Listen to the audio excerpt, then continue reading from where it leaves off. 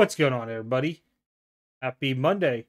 You guys will see I'm starting to do these little YouTube shorts from older videos and stuff like that there, just so I can try to get used to it.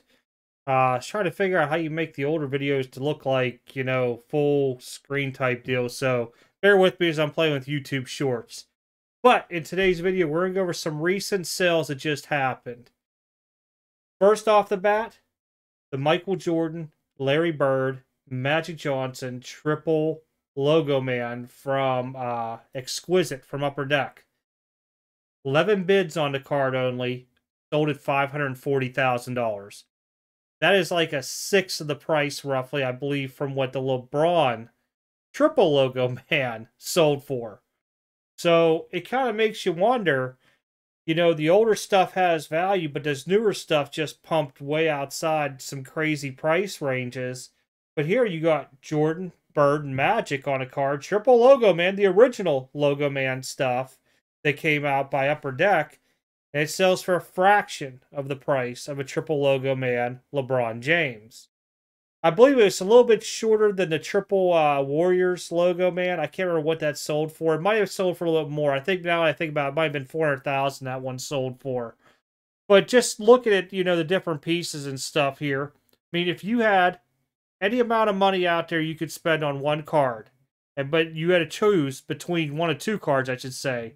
Either the LeBron triple logo man or this exquisite Michael Jordan, Larry Bird, Magic Johnson logo man. Which one would you buy? Just curious. Maybe I'm just missing something here because myself, I'd like the Upper Deck exquisite uh Jordan, Bird, and Johnson card. Even though I, I am a Jordan collector, I know he's on it, but just having three of these elite Hall of Famers on it would mean a lot more to me than anything else. All right, moving on, moving on. It talks about some other stuff onto here. Uh, the 97 98 Metal Universe PMG Red Jordan sold for 420000 The 101 National Treasure Logo Man, Cade Cunningham, back at 9, 10 auto, sold for $204,000. This says the most money ever paid for a card featuring a 2021 top draft pick. Kind of crazy. $204,000 if you pulled that card. Now you remember those boxes are still pricey and everything. It's not like back in the day where those things are like four or five hundred dollars a box. A little bit more now, but just crazy that stuff. LeBron James Cavs jersey signed from the 08 season, 198,000. So it just gives you a lot of stuff. I believe these were all Yep, Goldin auction, Goldin auction stuff. All right.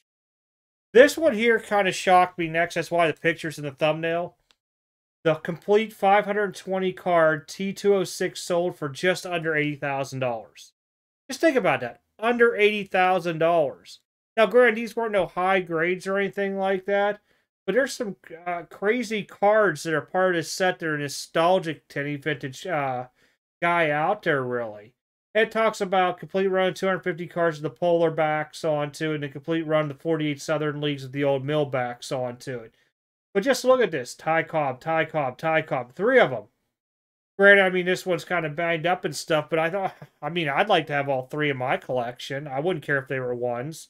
This stuff's hard going to be really hard to find in those higher grades unless somebody stored them in, I don't know, an envelope or something way back then.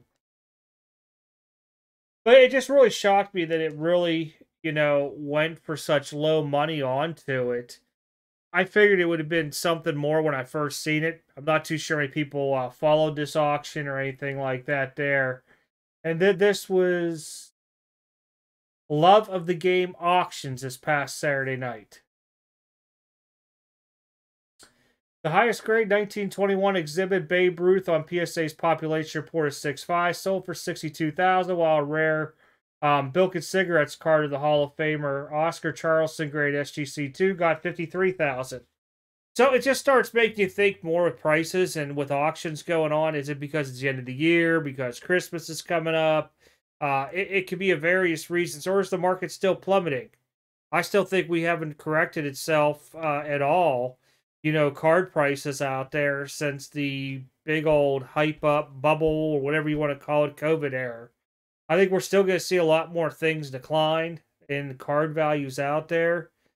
Uh, I get asked a lot would I buy anything now. I still buy, but mostly what I'm buying, I'm either buying the grade to sell, make money, and buy PC stuff with it, or I'm just hunting PC stuff, or I might see something somebody else might like and I'll buy and trade for it. But I still see a lot of stuff way overpriced, people not budging. Give them till next summer and just start watching. You guys start seeing there'll be a lot of dealers starting to want to cut deals on cards because they've been sitting on them for a long time frame. Even myself, I sat on cards for probably close to a year this year. Couldn't move them at any of the shows online. MySlabs, eBay, buy it now's best offer. Uh, oh, I'm trying to think what else I had them on.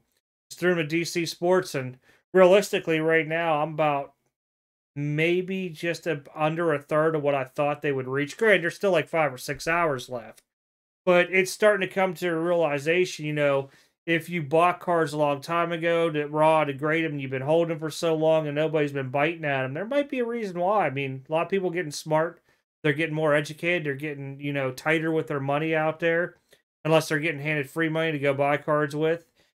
But figured I'd bring this up today. It was kind of interesting. I'm really curious. I mean, with everybody's thoughts, would you have rather had the Jordan Bird in Magic Johnson triple logo man from Exquisite, or the triple uh, LeBron James uh, one from was that out of uh, Flawless this year? Flawless.